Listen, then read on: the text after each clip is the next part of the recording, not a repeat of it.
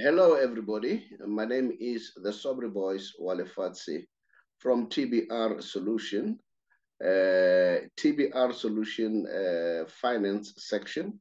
Today we are doing what you call consumer rights, and then we have consumer rights activist, uh, Mr.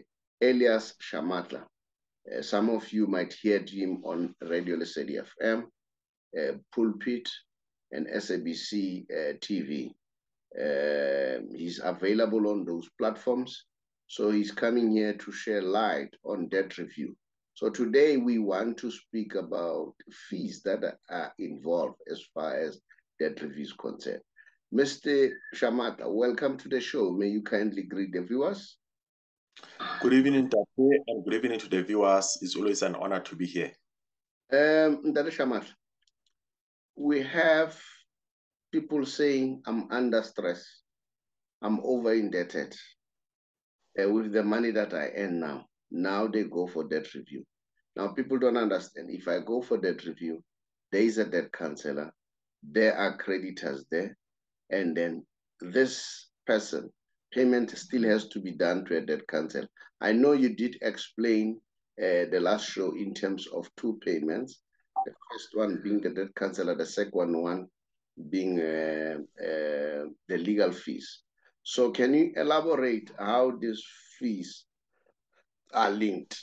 Okay, but the question that I ask or I'm asking is, is it fair for people to borrow money from creditors, the next thing expect to be forgiven? And if they are forgiven, what's going to happen to the economy? Because the creditors have employed people whom they must pay because interest is their profit. Can you just tell us what's happening there? Well, that, uh, that's a very important question because if we were to be uh, forgiven not to pay the money that we have, that we have borrowed, actually the, the money that we have borrowed is the people's money that invested in the credit providers. So we will be eating other people's money. So it means that those credit providers will be bankrupt because they will run out of funds when they pay back the owners of the money, meaning the investors.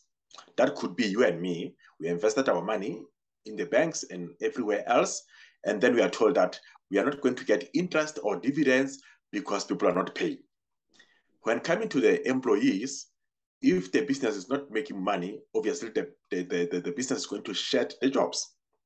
People are going to lose their jobs because I took the money, ate it, and not paid back. So we'll be we'll be killing the economy directly. So there will be that snow uh, snowball effect, whereby me as Mr. Shamatla or Mr. Chabalala, I had people to take care of. If I'm unemployed, everybody's gonna suffer. Uh, crime is gonna increase. A uh, lot of things, bad things will go on. So it is important that they everybody should pay back what is due. Remember, they they initiated that move of going to borrow money. All right. And people cannot hide behind, I know I was called uh, marketing. They had the right. They had the right to say no. So they could not say no. So they must take responsibility, which is part of the big R. Uh-huh. Big R talks about all the positive R words Responsibility is one of them, and we are talking about their rights. Now, can you further clarify the fees as elaborated? I know last week you spoke about first payment, second payment, and how is it gonna just elaborate a little bit so that they can understand what's happening about the fees. Thank you, Doctor. Uh, the fees are as follows. Firstly, a debt counselor needs to be paid because that counselor is a professional, somebody uh, who stands between the credit providers and consumers, who ensures that the credit providers get their money, who ensures that the, the, the, the, the consumers pay and they are not abused or harassed. So that's why while you are under debt review, you are protected by the law because there's a debt counselor who's taking care of your debts. But the debt counselor does not own those debts. all that the debt counselor does is to negotiate with the credit providers and ensure at the same time that you have a peace of, peace of mind. Now you can answer the calls from your family members because at the moment you are putting your phone permanently on silence because you are scared that credit providers are going to call you. Now, so now this. Okay, okay, Mr. Shamatla. So now this important person called the debt counselor has to be paid.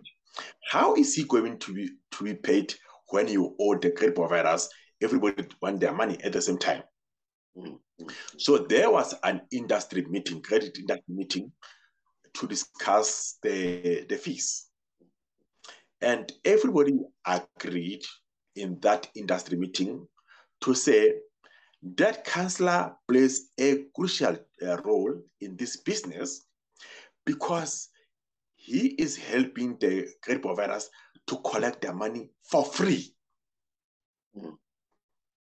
Because if there was no debt counselor, credit providers were going to spend money to hire the debt collectors to collect the money that, that is being owed by the consumers. Mm. But with the introduction of the debt counselor, debt counselor is doing that job diligently, and credit providers are saving money because they are not paying this debt counselor. This debt counselor is paid by the consumer because he is assisting the consumer to save his assets and to protect his name because while you are under debt review, you are not blacklisted. So the question was in that industry meeting, at what stage should the debt counselor be paid? The credit providers unanimously agreed that a debt counselor is a preferred creditor, meaning he comes first on the list.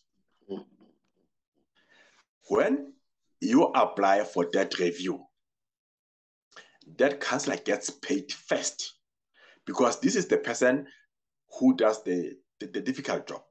Mm-hmm. Get that counselor out of the way. It's a once-off fee, mm-hmm. which is equivalent to the first installment of all of your accounts. Mm-hmm. So, in other words, you as a consumer, technically, you're not paying the debt counselor that counselor has been paid by the credit providers. Mm. Because credit providers are saying the money that is supposed to come to us must go to the debt counselor. Mm-hmm. Okay. Just, Just take care of the counselor. Just there. I want you to clarify the difference between a debt counselor and a debt collector. All right? That's one. Yes. and you say credit providers were spending a lot of money on debt collectors. Yes. And then as you explain the difference between debt counselor and a debt collector, what fees are involved for a debt cancel?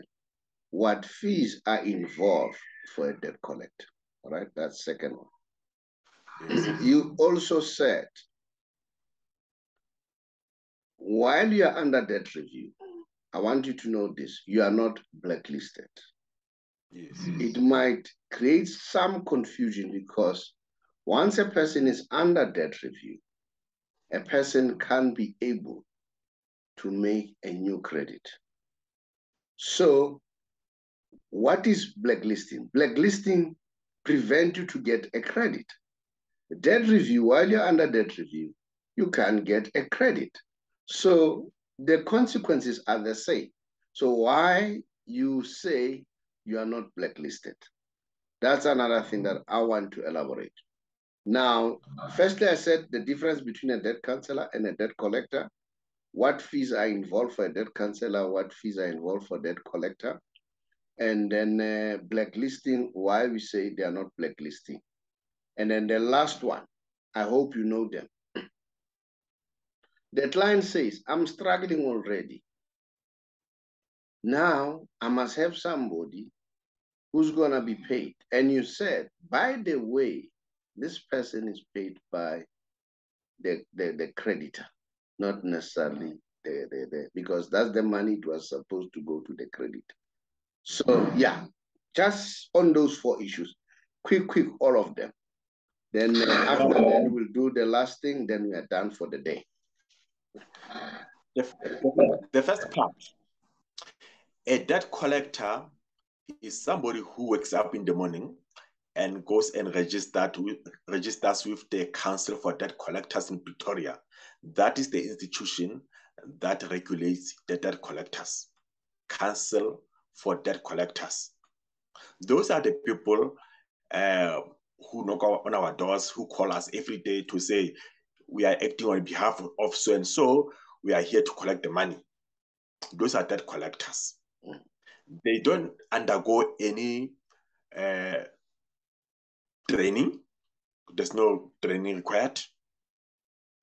There are no not lots of requirements to register as a debt collector. Actually, you and I can wake up in the morning and go and register as debt collectors tomorrow. However, with debt counselors, these are the people who have undergone the vigorous training and test. These are the people who have studied uh, debt counseling and NCA uh, in general, which is the National Credit Act. And then after completing a training, which is currently offered by the University of Pretoria, mm, mm, mm, after they have completed their training, then they go and register with the regulator, NCR. Mm.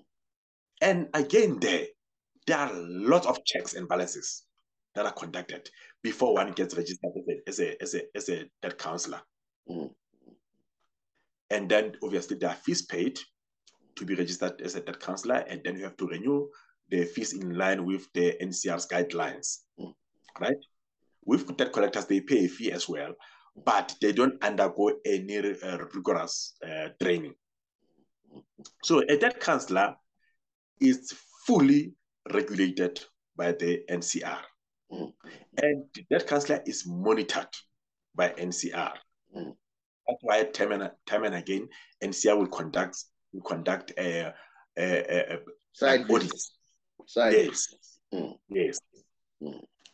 So that's the debt counselor. So now this debt counselor's role mm. in terms of the National Credit Act uh, plays a role of a middleman mm. between the credit provider and the consumer.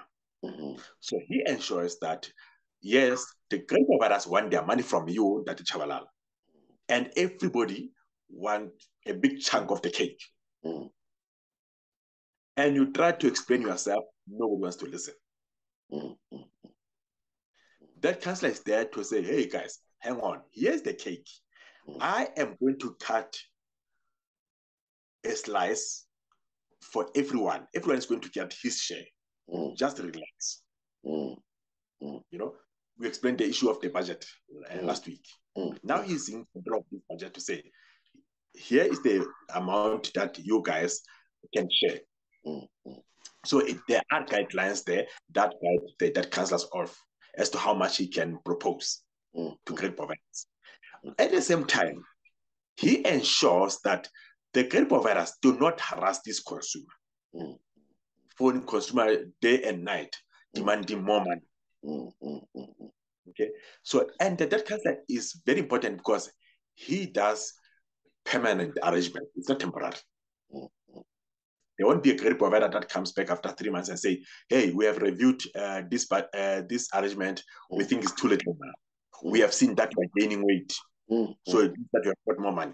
Mm, mm, mm, mm. yes. So his uh, his arrangements arrangements are permanent, okay. and he goes further to court to make sure that there is a court order to protect you as a consumer. Mm, because credit provider cannot turn around tomorrow and say, "I think this money is too little." Then it means that he has to go via the court first, and he has to explain himself in court. Where were you? Why do you agree to this in the first place? Again, this court order uh, protects the credit provider because you said to the credit provider, I can't afford to pay 500 rand. I can only afford to pay 200 rand. Mm. And the credit provider accepted. So you can't come back now and pay 100 rand. Mm, mm, mm, mm. and, and, and while you're still there, credit providers, if they want to collect your house or repossess your car, they use the law, they use the courts. So that is why there has to be court order so to mitigate. Because sometimes people don't understand that review, it's not about reduction of installment per se, although yes. there are a lot of benefits. Uh, but largely, it's more of a legal protection. Yes. than any other thing. And on top of that, in addition, creditors go further and reduce interest rate, as you said last week. So which probably helps them because a, a client says, no, I, I, have a little money, I have, have to share with the debt counselor.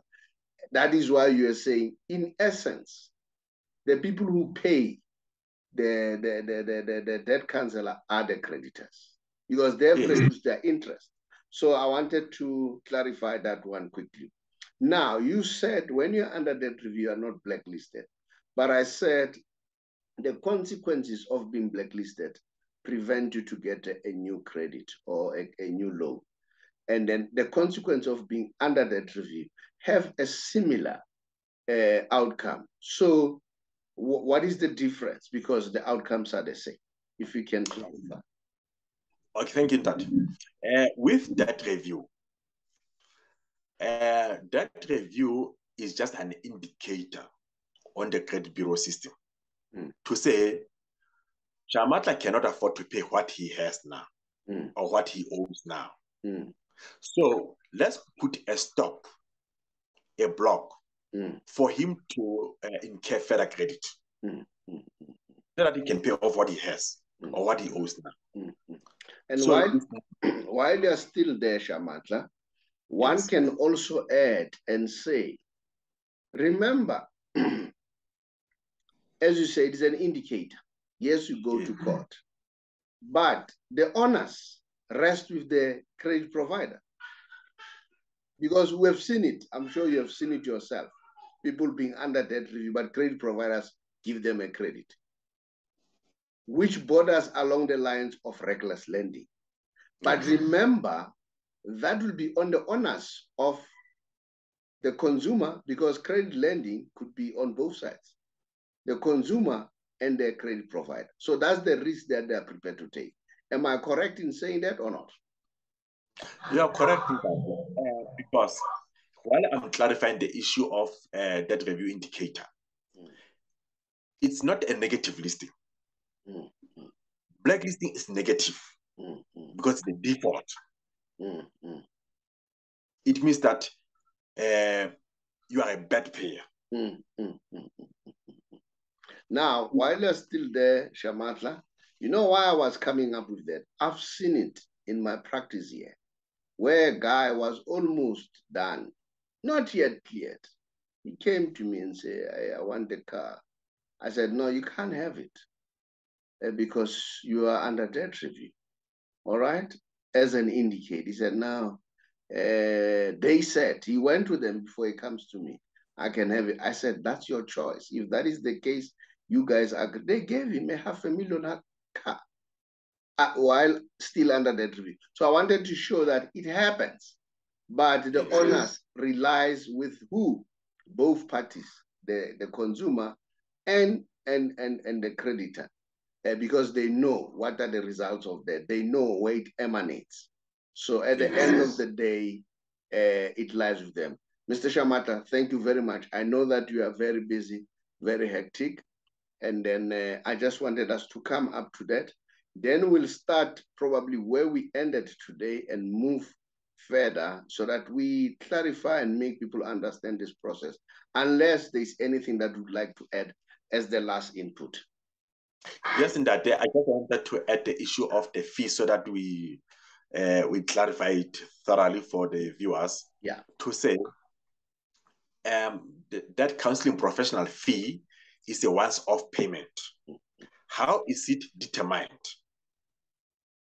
The first installment, I mean, the, the fee is equivalent to the first installment. And then going forward, you are going to pay what is called aftercare fees which is 5% of the of what we are, you are paying, and it's not more than 450 rand. And now the installment, if you can clarify the installment, what is an installment? I was paying 5,000 for my car, and i am I still going to pay that 5,000? What is installment no. in terms of? You are going to pay less. Yeah, just explain. Uh, uh, what happens is that Um, with regards to, to the car, you are going to pay 80% of your con. Yeah, now you can go ahead. Yes. Um, Mr. Shamatla, I see that you've got a bit of a challenge. Uh, Mr. Shamatla was just explaining that you are going to pay what you call 80% of um, the installment that you used to pay. But um, what he says, you pay the installment. The installment is equivalent to the rehab fee. What is a rehab fee? A rehab fee is the money when we are busy with the two budget that he told us about last week. The first budget being your living expense, the money that you need in order for you to survive. And then the budget number two is the budget of uh, uh, the budget of uh, paying your creditors, uh, the outstanding money that needs to be paid. So let's say you're earning 10,000 rand and then you allocate after you deduct all your living expense, they take about 5,500. Then you'll be left with 4,500. The, the, the, the creditors will be told that, guys, you need to share this cake that he was referring to of 4,500. That is called the rehab fee. So that's the installment that he's talking about. All right. So whether the car, all of them, they need to share the car, the house, your short-term loans, your, your, your clothing accounts, all of them, they need to share that. And he even said the first installment, which goes to a debt counselor, is that first installment. Remember when I made the example of 4,500, is that 4,500. That's the first installment that goes to a debt counselor. There is no way that a counselor can get more than that. You'll get only 4,500 as per the rehab fee. All right. And then going forward, he pays the legal fees. Uh, it depends. Lawyers charge so much, or they go for a NCT, NCT, which is about a thousand rand fees. Uh, but NCT requires that all creditors agree to the proposal. If they don't agree, then it's a dispute. So they don't want it. It has to go to court. So now it's 1,000 Rand, 500 Rand is for NCT to do their work. Another 500 Rand is for the debt counselor to do the admin work in order for them to send emails and all that, everything, the communication that I make, the stuff that they pay. So that's how the fees are being uh, divided. But nevertheless, if you still have questions that would like to ask, feel free to do that. You'll see at the end of the show, you'll see the WhatsApp number. Uh, but not only that, when you go down there, you'll see our website. It will show you what the website. The website is thebigr.co.za, which is T H E B I G R.co.za. In other words, it's www.thebigr.co.za all in small letters. Thank you very much. Would like to get your questions.